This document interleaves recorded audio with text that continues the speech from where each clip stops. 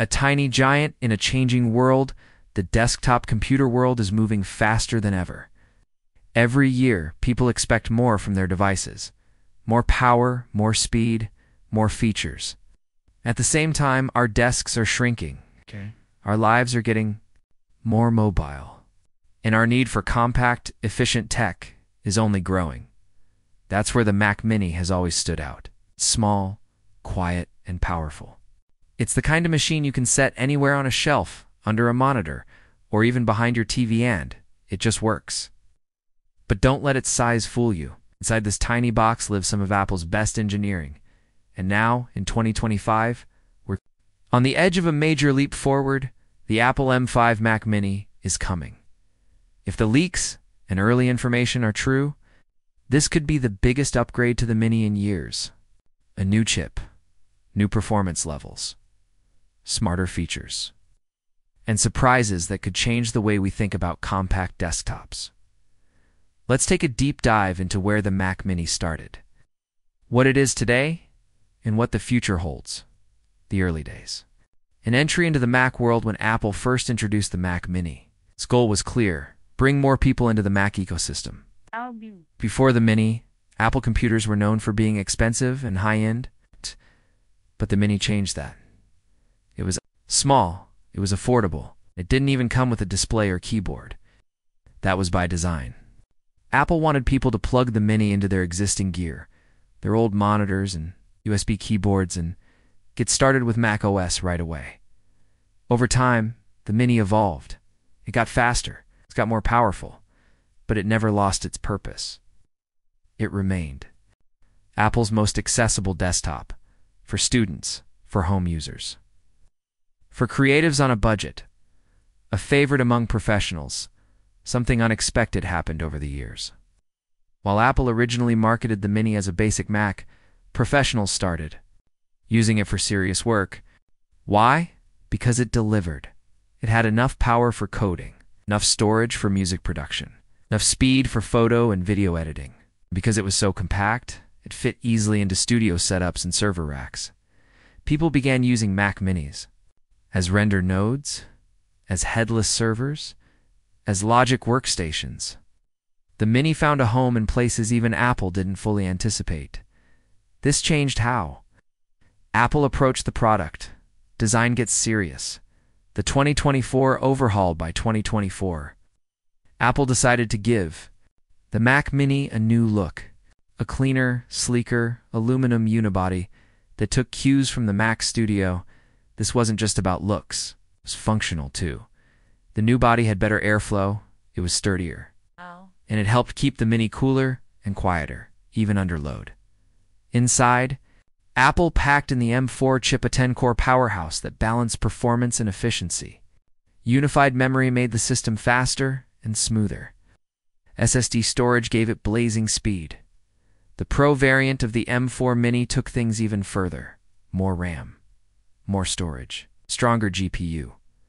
Suddenly, the Mini was bumping up against the performance of the much pricier Mac Studio. People loved it. Reviewers praised it. And for many, it became the best value in Apple's entire Mac lineup.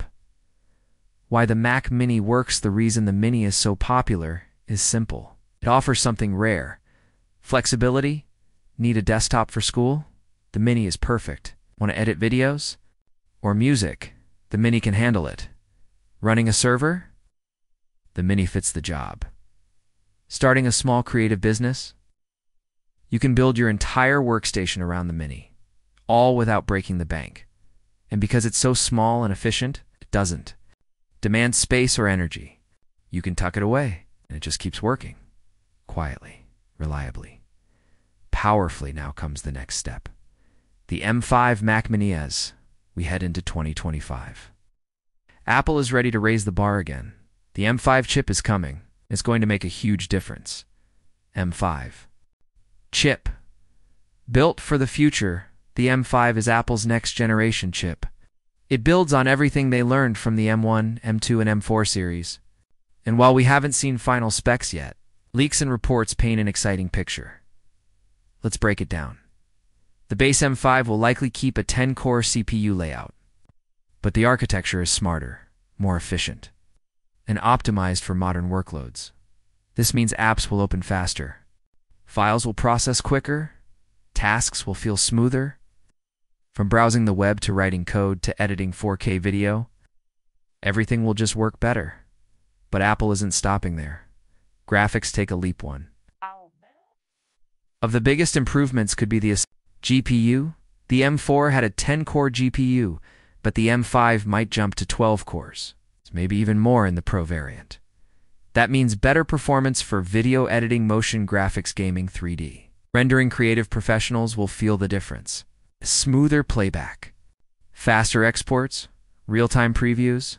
These aren't just nice to haves. They're productivity boosters. M5 Pro.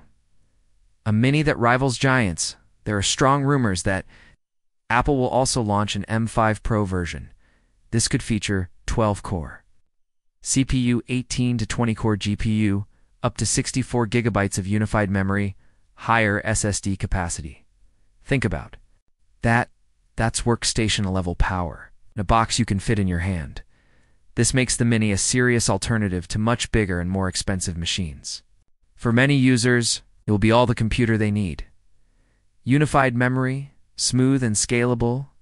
The Apple's unified memory is one of their smartest moves. It allows the CPU and GPU to access the same memory pool. That means less duplication, less lag, and more speed. The base M5 Mini could ship with 16 gigabytes of memory. That's enough for most users, but the M5 Pro could offer 24 gigabytes, 32 gigabytes, or even 64 gigabytes. That's perfect for pros who edit video, run virtual machines, or handle large 3D projects. You get power. Without the overhead, storage finally gets better. If there's one area users have always wanted more, it's storage. The current base model has 256 gigabytes, but with file sizes growing, that's not enough anymore. Reports say the M5 Mini will start at 512 gigabytes, a welcome change. The Pro model could go from 1 terabyte up to 4 terabytes, ideal for video. Editors, developers with massive projects, creators with large media libraries, no more juggling. External drives, ports that work for everyone, the Mac. Mini has always been a port-friendly machine. While some Apple devices dropped ports, the Mini held on to them. And the M5 version will likely keep that trend. Expect colon Ethernet HDMI USB-A USB-C. Thunderbolt 4, maybe even new front-facing ports. These make it easy to plug in everything from monitors to audio gear to storage drives, and for pro users. Thunderbolt means fast data and multi-display support, design that stays familiar but better the 2024 redesign was already a hit. Apple probably won't change much. Expect the same aluminum body, clean lines, small footprint. But they may tweak the airflow again. To make the machine run even cooler and quieter, the Mini doesn't need to look flashy it needs to perform. And that's exactly what Apple is optimizing for. Mac OS 15 or 16. Smarter software for smarter. Hardware their M5 Mini will launch with a new version of Mac OS. It's likely Mac OS 15 or even 16. These updates will focus heavily on AI and automation. Next, means smarter. App launching window management task. Switching Apple wants your Mac to understand what you need before you ask. For developers, tools like Xcode will get AI features. For creatives, Final Cut and Logic will be faster, smoother, and more powerful. It's all designed to make the most of the M5 chip, release date and price. What to expect based on leaks. Apple could announce the M5 Mac Mini in late 2025, maybe October. Maybe November. If not, look for a Q1 2026 launch alongside other Macs prices will probably stay steady base. M5, $599 million, 5 Pro, starting around $1,399. Fully loaded models could go past $2,000, but for what you get, that's still great value. Who is? The M5 Mac Mini 4? Short answer? Almost everyone. Students, developers, designers, editors, casual users, Small businesses, the Mac Mini is small. It's powerful. And it's ready for the future. Should you wait or buy now? If you need a computer today, the M4 Mac Mini is still a great choice, especially if you find it discounted. But if you can wait a few more months, the M5 will be worth it. More speed, more storage, more features, more value. Conclusion A giant. Leap for a small machine, the Mac Mini has come a long way. From a simple entry level desktop to a creative powerhouse with the M5 chip, Apple is redefining what small desktops can do. This isn't just another Mac, it's a tiny giant, ready to power a new generation of creators, learners, workers, and dreamers. And the best part, it fits in the palm of your hand.